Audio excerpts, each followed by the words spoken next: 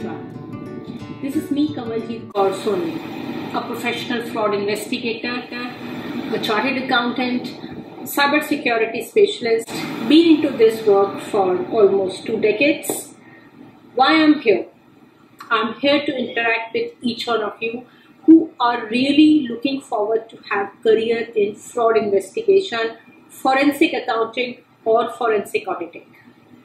These are the terms which we may uh, uh, have heard somewhere, but we are not sure what exactly it is. If I'm a graduate, if I really want to make my career in this profession, how will I start?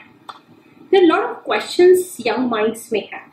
So my purpose of this particular series is to one, make you aware what are the career options in investigation.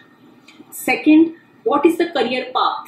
What are the skills which are required? What are the salaries we can expect? Where all can we work? Where all countries can we make career in?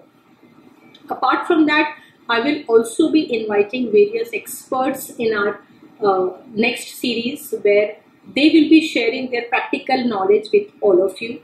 And this is something which we will be continuing for a long time now. So before we proceed with the new videos, first thing you have to promise today is you have to keep subscribing to our channel and please like if you like and share these videos. So this is the purpose of this small brief introduction. We will be connecting with you very very soon. Thank you so much.